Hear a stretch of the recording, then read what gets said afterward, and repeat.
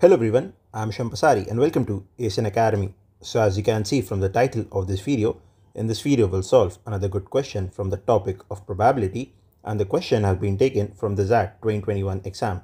Now the question is as follows. A small store has 5 units of a few phone model in stock, 2 white, 2 black and 1 red. 3 customers arrive at the shop to buy a unit each. Each one has a predetermined choice of the color and will not buy a unit of any other color all the three customers are equally likely to have chosen any of the three colors. What is the probability that the store will be able to satisfy all the three customers? So this was our question and I would like you to try this question first by yourself and then come back to the video for the solution. I hope that you've tried the question and you've got the solution and if you didn't then let's check the solution. So according to a given question, it is given that a small store has 5 units of a new phone. So we have 5 units of the new phone and it is 2 white, 2 black and 1 red.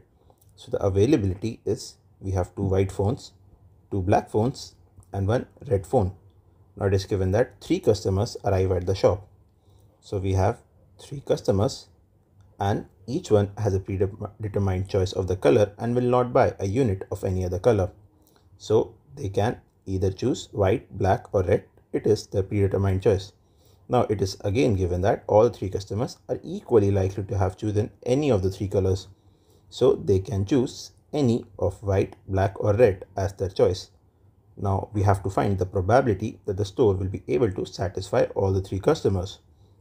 So let us first calculate the sample space for this probability have person 1, person 2 and person 3. Now each of them can have 3 choices as white, black or red. So we total have 3 into 3 into 3, 27 cases in total. So we have 27 different cases and we have to find in what of these cases their needs are satisfied. So let's take a sample in which their need is satisfied. So we have person 1, person 2 and person 3.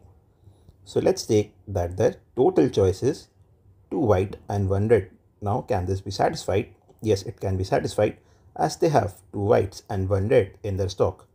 Now, what can be the different ways? Person 1 chooses white, person 2 chooses white and person 3 chooses red.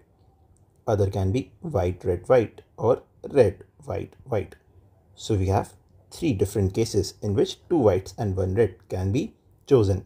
Now this can be easily find out by using the method of permutation. So we have 3 factorial because we have 3 different things and two of them are identical. So we'll divide it by 2 factorial and we'll get 3. So the faster and easier way is we list down all the cases and then permute them and add them and then we'll get our required cases in which they are satisfied. So what are the cases? So we have got one, two white and one red 2 black and 1 red will also be satisfied. 2 white and 1 black will be satisfied and 2 black and 1 white will also be satisfied. Now the last case will be 1 white, 1 black and 1 red. So these are all the cases in which my customers need will be satisfied by the store. So what will be our permutations? So it is 3 factorial by 2 factorial which is equal to 3. Same for the number 2 for number 3 as well 3 factorial by 2 factorial 2 black and 1 white can uh, again be permuted as 3 factorial by 2 factorial which is equal to 3 and 1 white 1 black and 1 red can be permutated indirectly 3 factorial ways. That is equal to 6 so if i add all these i'll get 18 different cases in which their needs are satisfied. Now my probability is equal to the required cases by total sample space that is equal to 27. Now they both are divisible by 9 so my final answer is 2 by 3.